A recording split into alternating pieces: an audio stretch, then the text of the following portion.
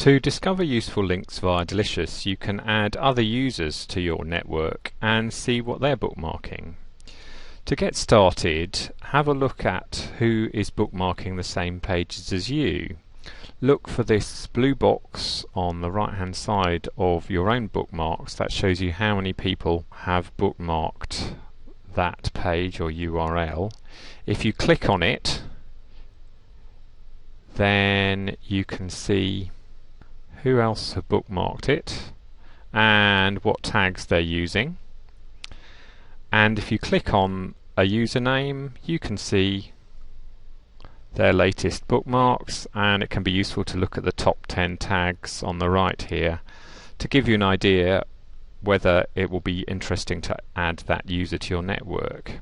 And if you want to do that you simply click add to my network and then you get a message at the top to confirm that. Once you've added people to your network, click on the People menu and My Network, or in your own area, click on Network, and the people you've added to your network show up here on the right with their latest bookmarks in the main section of the page. You can manage your network in the sidebar on the right here under the options setting as well as through the main settings page. A double flag against somebody's name shows they have also added you to their network and users who have done that added you to their network appear under the fans list. You can save or share bookmarks from this network page here clicking on save to save it to your own bookmarks or you can share via Twitter, email or Delicious if you know somebody else's Delicious username.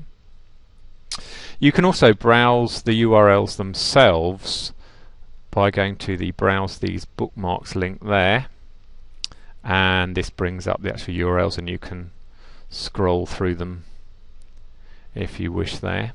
Finally, it's worth noting that the network page here has an RSS feed so you can subscribe to that and read all your bookmarks saved by everyone in your network in an RSS reader or send that feed anywhere else that will accept an RSS feed. It's surprising how many people don't use the networking feature in Delicious, but it can be a very useful shortcut to picking up on all sorts of interesting links if you find the right people to follow.